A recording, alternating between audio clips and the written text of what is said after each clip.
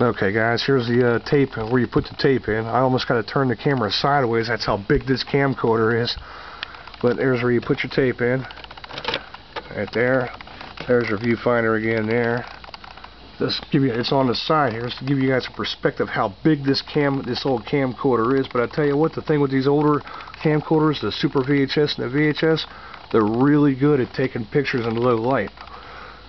Um, I'll turn it sideways to give you a little orientation here, but this chair, from the tip here, where you can see my finger, there's your microphone here. The lens is even farther up, about an inch or so, but from here all the way down here, it's almost two feet.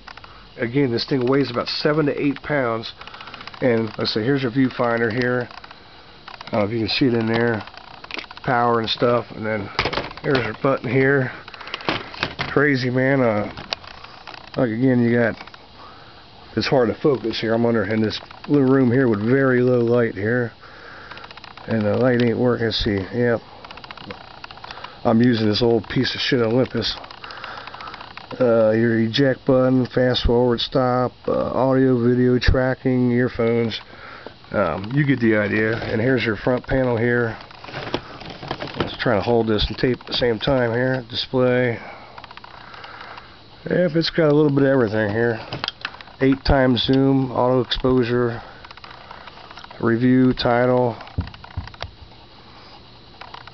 shutter, focus, you name it. It's, a single CD, CCD, of course. Low light sensor. That's the older ones. It's even got the old flying erase head. VHS movie. There you go. Ford Probe GT 1997. you guys, you'll get it. I think you get a kick out of this thing.